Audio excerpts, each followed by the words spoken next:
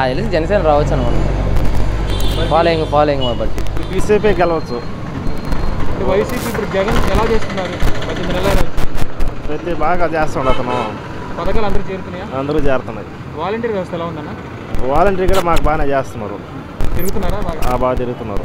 ఇప్పుడు రేషన్ కార్డులు చాలా మందికి అన్యాయంగా తొలగించారని ప్రతిపక్షాలు అంటున్నారు. దాని గురించి మా పక్క అయితే ఎక్కడ ఎక్కడ తొలగించలేదు.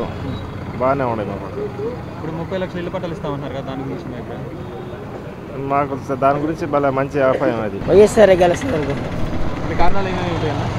అంటే అందరికీ బాగా లక్ష్యంగా చూస్తున్నాడు. అన్ని మంచి చెల్లు చేస్తున్నాడండి పథకాలు అందరూ చేరుతున్నాయి పథకాలన్నీ అన్నీ చేరుతున్నాయి. పేదవాళ్ళకి అందరికీ? పేదవాళ్ళకి అందరికీ చేరుతున్నాయి. వాలంటీర్ వ్యవస్థ ఎలా ఉందన్న? పర్లా బాగానే చేస్తున్నారు ఇంతకుముందు వాలంటీర్ లేనప్పుడు ఎలా ఉండేది? ఇప్పుడు ముసలి పెన్షన్ అయినా ఏదైనా? ఇప్పుడు అంతకుముందు బాధపడేవాళ్ళు ఇప్పుడు బాగానే చేస్తున్నారు. అన్న చాలా మందికి రేషన్ కార్డులు కావాలని తొలగించారని చెప్పి ప్రతిపక్షాలు అంటున్నారు. దాని గురించి మీ అభిప్రాయం? అవి ఏం తొలగిలేదన్న మా ఊరు వరకు మాది బోధనం గ్రామం చిల్లకూరు మండలం మాది. మాది వరకు బాగానే ఉంది. మా పక్క అయితే మేము చెప్పగలం వైఎస్ఆర్ఏ గెలుస్తుంది అనుకుంటున్నాం. వైఎస్ఆర్ పక్క అయితే మా పక్క ఉంది వైసీపీ. కారణాలు ఏమేమి ఉంటాయి అన్న?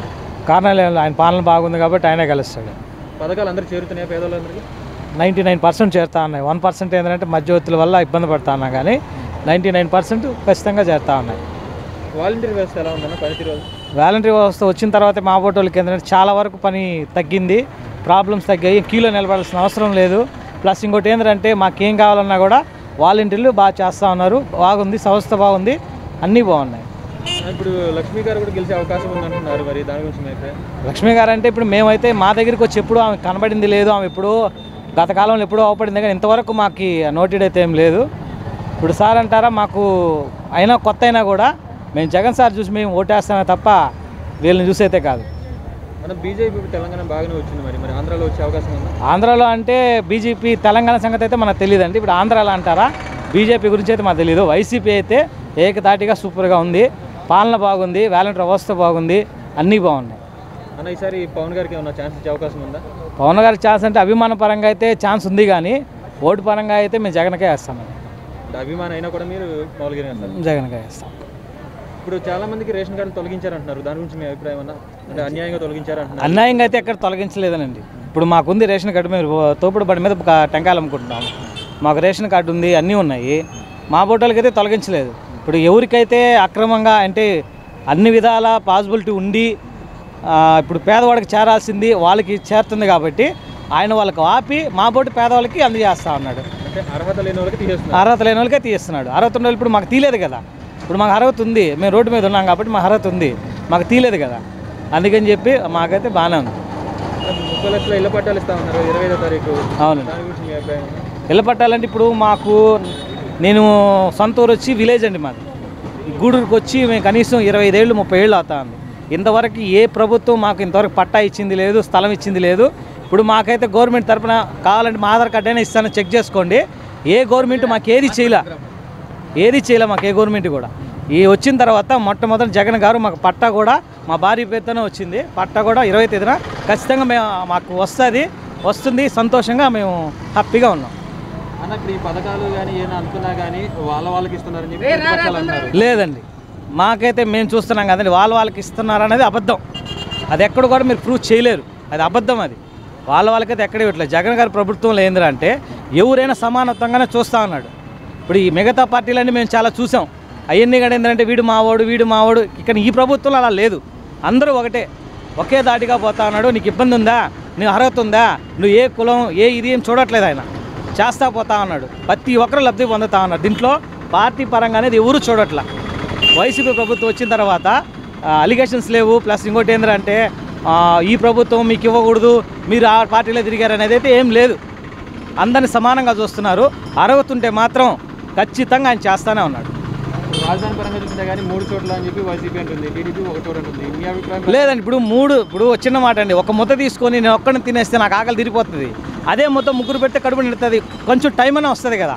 అలాగే ఆయన చేసేది కూడా ఏంటంటే ఒకే దగ్గర అభివృద్ధి చేయకుండా మూడు చోట్ల అభివృద్ధి చేస్తే ఏంటంటే ఆంధ్రప్రదేశ్ మొత్తం కూడా అభివృద్ధి అయినట్టే. అంటే నాలుగు స్తంభాలు నిలబట్టే నిలబడి స్టాండర్డ్ అనమాట అది. ఒక పిల్లర్స్ లాగా ఆయన వేసుకుంటా వస్తా ఉన్నాడు.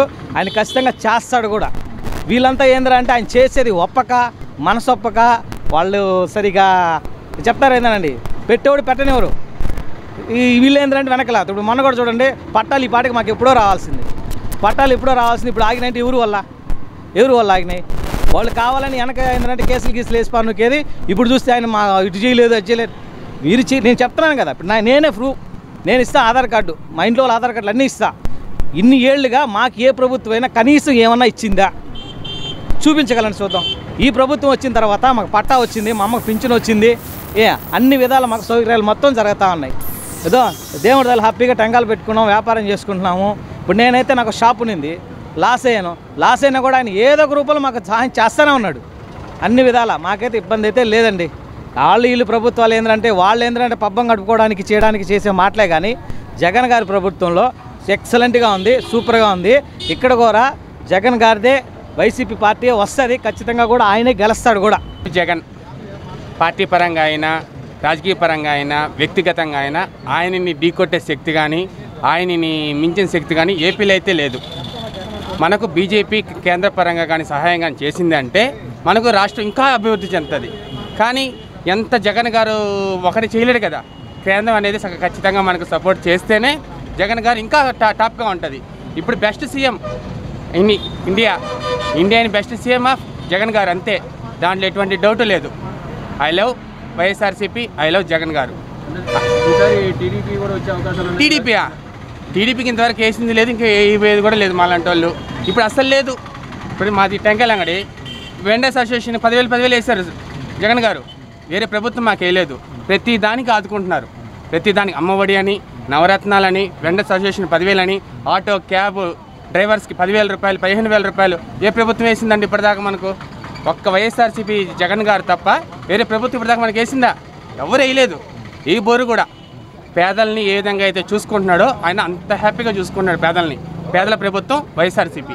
అన్న ఈసారి జనసేన కన్నా ఛాన్స్ ఇవ్వచ్చా జనసేన అంటే పవన్ కళ్యాణ్ గారి సినిమా వచ్చిందంటే ఒకటో రోజు నుంచి వంద రోజు దాకా చూస్తామండి. అభిమాన పరంగా అయితే మేము ఆయన ఫుల్ సపోర్ట్. రాజకీయం పరంగా అయితే ఐ హెట్ ఏం చేయలేదు. ఆయన ఆయనకి అనుభవం ఉన్నా ఏమున్నా కూడా చేయలేడు. కష్టం. ఆయన రాజకీయంలోకి రాకపోవడం అనేది ఆయనకి మంచిది. ఆయన సింప్లిసిటీ మీద కానీ ఎటు ఎటువంటి మీద అయినా రాజకీయంలోకి ఆయన ఎంటర్ అవ్వకపోతే మంచిది. వద్దు. ఆయనకి రాజకీయాలు ఆయనకి అవసరం లేదు. హ్యాపీగా ఆయనకి కొన్ని కోట్ల మంది ఉన్నారు అభిమానులు. పవన్ కళ్యాణ్ గారికి. హ్యాపీగా ఆయన అటుంటేనే చాలు. ఎట్టి పరిస్థితులు ఆయన రాజకీయాలకు రావలేదండి. ఆయన రాజకీయాలకు వచ్చి రోత అవుతున్నారు. అంత గొప్ప మనిషి రాజకీయాలకు ఎంటర్ అయిన తర్వాత లేనిపోని నిందలు పడుతున్నాడు ఆయన. అన్న చాలా రేషన్ కార్డులు అన్యాయంగా తొలగించారన్నారు ప్రతి- మాకు రేషన్ కార్డు ఉందండి. రేషన్ కార్డు ఉంది ఆరోగ్యశ్రీ వయసు ఆరోగ్యశ్రీ ఉంది ప్రతిదీ ఉంది. మాకేం పోలేదు.